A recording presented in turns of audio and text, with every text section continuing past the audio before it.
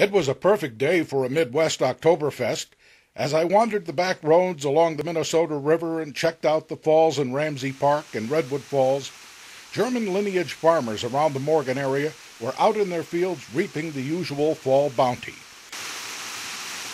Since the Vikings weren't playing worth a damn, also as usual, it was a perfect day to be outside on any pretext. Or if you were a retired farmer of German ancestry, inside.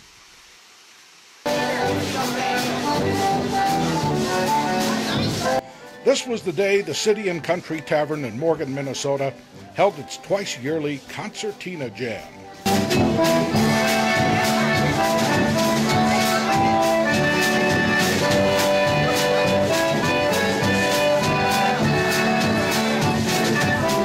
This year's frolic, just half an hour from New Ulm, the mecca of concertina manufacture and expertise, drew at least a dozen of the junior buttons and bellows instruments.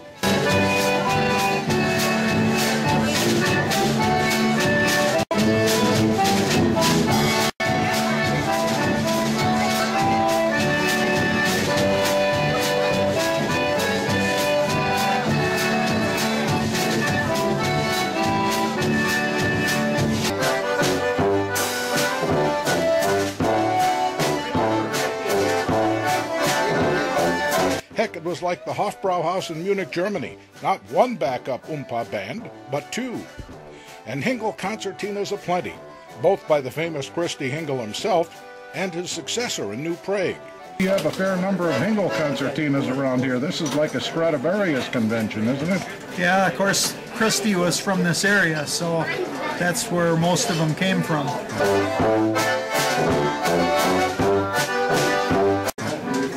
There's there's a lot of uh, other ones, but then, then there's the new Hengels too that are made in New Prague. Ah, So we've got the we've got the old ones, and then we've got uh, Jerry Minar bought the rights um to, from Christy to make the boxes, and so he makes them now. So some of the ones are brand new ones. okay. One says Hengel and one says Hengels. And the Hengels are the brand new ones. Yep.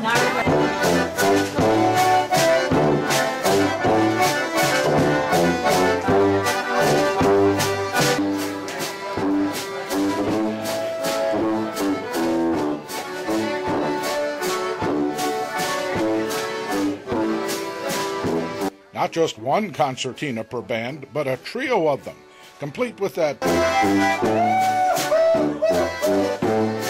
Made popular by Whoopee John Wilfahrt's Concertina Orchestra four score years ago.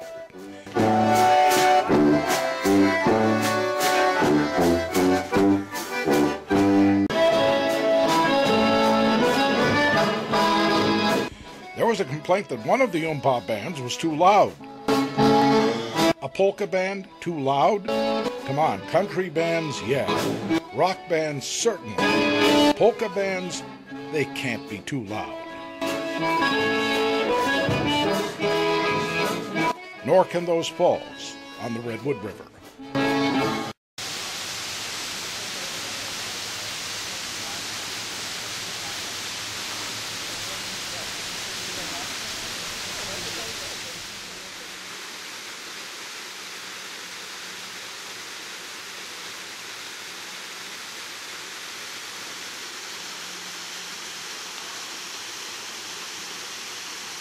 And how is that for tying two things together that have absolutely nothing to do with each other?